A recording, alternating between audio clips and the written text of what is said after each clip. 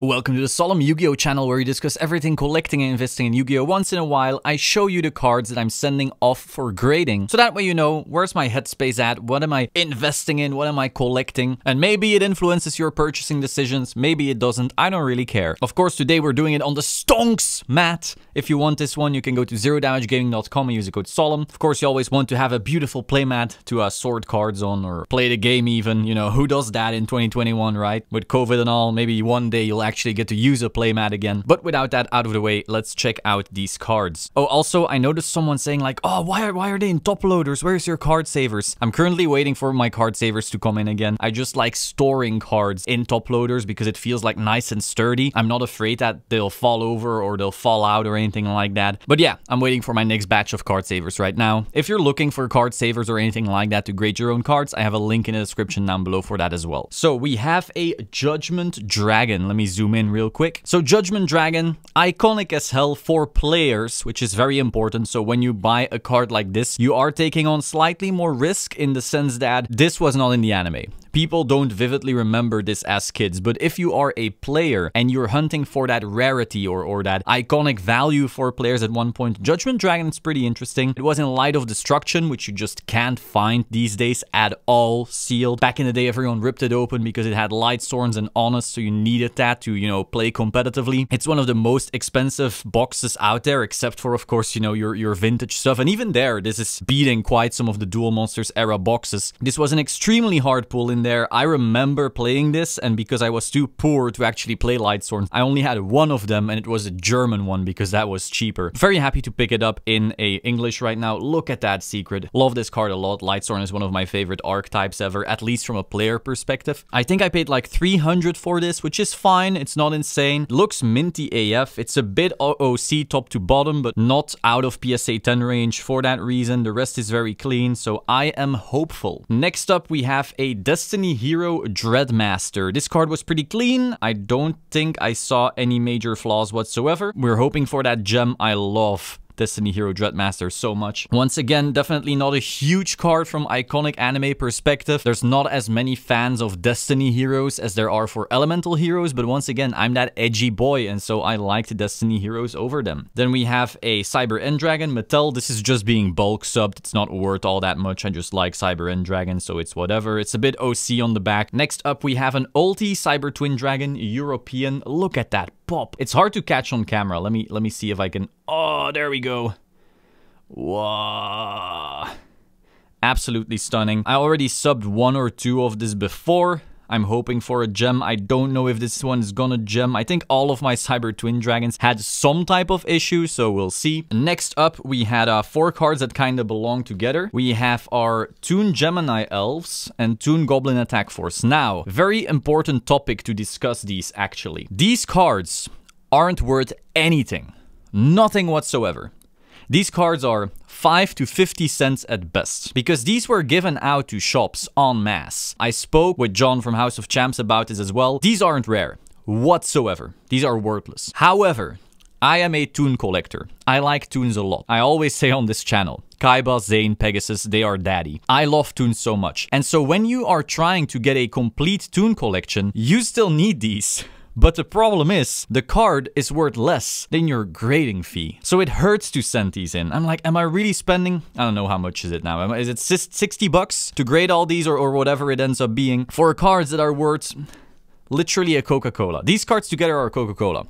And I'm gonna spend 40 bucks, 60 bucks, however much bucks to get them graded because I want my full toon collection. It is what it is, you know. If you're collecting toons, you're first going for the magic ruler. It's that simple. You get your magic ruler toons, get them out of the way, okay. Then you move into the TP, CP, whatever the hell to get your toon table of contents. Uh, you have your promo Toon Dark Magician Girl, Toon Cannon Soldier from TP, all of those good stuff. Then what do you move into? You move into maybe odd shit like this, maybe the collector rares from Toon Chaos. You're still gonna have to pick them up at some point. And now because bulk sub takes like two years to get back, you know, I'll see these cards in 2023, bye. That sucks. And it's so expensive to grade them now, so I don't know how many people are actually gonna grade these. And if you're a completionist collector, well, good luck. Next up, we have a Cyber End Dragon Ultimate Rare European. Let me try to get that ulti nice on the camera. Come on. Oh, there we go. That's what you're looking for. That's what you are looking for when checking out a Euro ulti. Wow.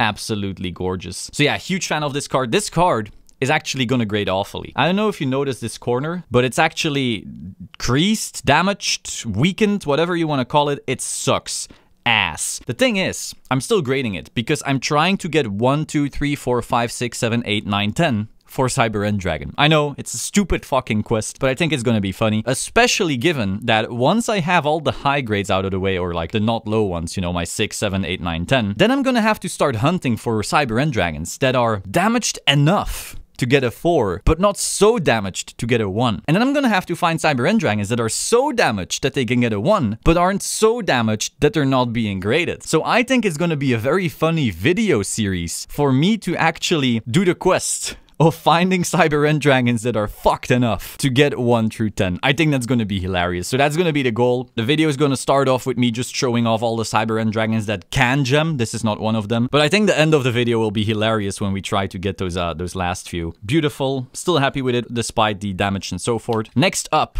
here's some stonks.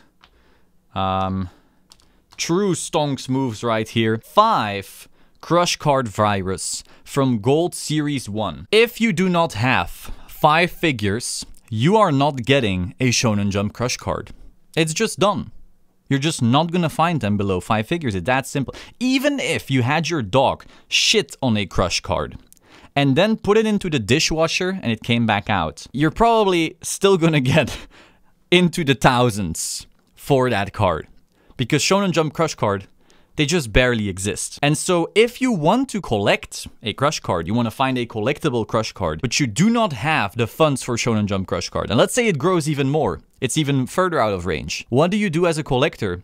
When you are a Kaiba fan, or when you were a player and you loved using this card in the Dark Armed era. There is no other alternative beyond, I guess, the ulti, but this is the first, you know. For 99% of players, this was the first Crush card they ever laid eyes on, or collected, or used in their decks or whatever, because, you know, not everyone knew someone with a Shonen Jump Crush card. So this is the first. It was super hard to pull, like back in Gold Series.